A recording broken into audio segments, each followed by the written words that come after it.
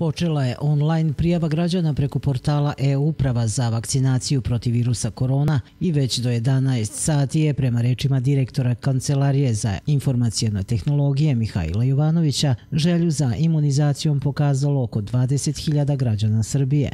On je istakao da je usluga veoma jednostavna i da nije potrebno da građani budu registrovani na portalu euprava.gov.rs da bi je koristili. Da bi obrazac bio važeći, potrebno je da građani ostave svoj jedinstveni matični broj, ime i prezime, mail adresu i kontakt telefon. Građani u ovom upitniku popunjavaju i deo o tome da li imaju neka hronična oboljenja, a mogu i da odaberu kojom vrstom vakcine protiv korone žele da budu vakcinisani. Prijavljivanje nije vremenski ograničeno, a oni koji su iskazali interesovanje mogu i da ga povuku ili promene. Jovanović je naveo da se država odlučila na ovaj potez zbog bolje organizacije masovne vakcinacije koja predstoji u našoj zemlji.